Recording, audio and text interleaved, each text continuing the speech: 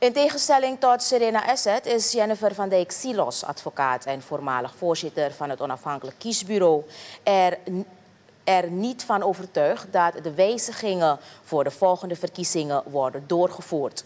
Op 5 augustus 2022 oordeelde het Constitutioneel Hof dat de kiesregeling in strijd is met het gelijkheidsbeginsel en het discriminatieverbod van artikel 8 van de Grondwet.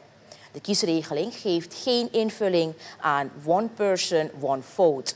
Van de Exilos ziet graag meer actie van de regering om te komen tot een kwalitatief wetsvoorstel.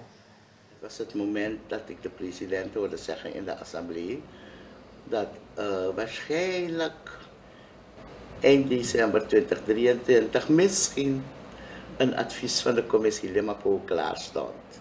Nou, ik dacht bij mezelf, wat gebeurt daar?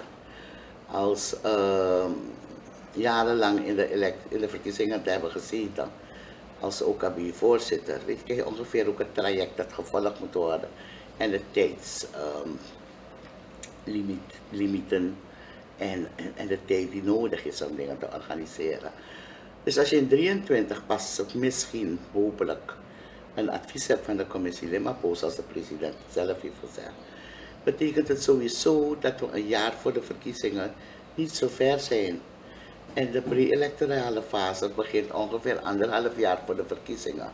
Op basis waarvan gaat er georganiseerd worden. Dus dit soort vraagstukken hielden me bezig. Politieke partijen moeten zich ook klaarmaken voor de verkiezingen.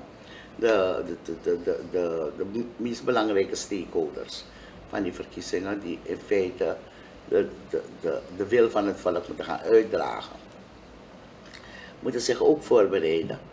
Dus toen werd ik natuurlijk uh, getriggerd. Van Dijk Silos stelt dat er heel gauw een wijziging zal moeten optreden, zodat de verkiezingen van 2025 volgens het nieuw systeem kunnen plaatsvinden. Volgens de advocaat zullen er geen verkiezingen zijn als het huidige tempo wordt aangehouden.